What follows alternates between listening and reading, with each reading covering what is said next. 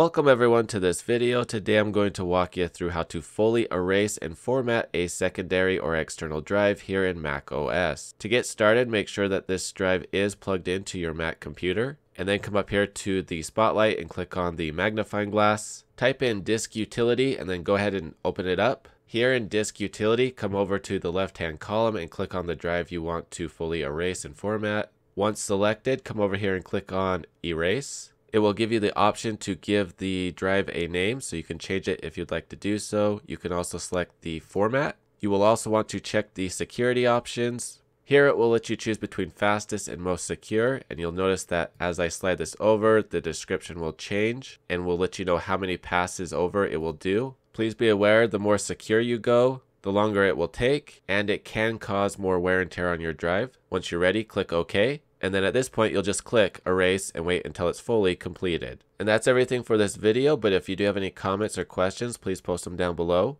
If you like this video, please give it a thumbs up and please consider sharing it. And if you would like to support the channel, go ahead and hit that join button, the subscribe button, and that bell notification icon to get notifications on future videos. Thank you very much for watching. I hope you have a great day.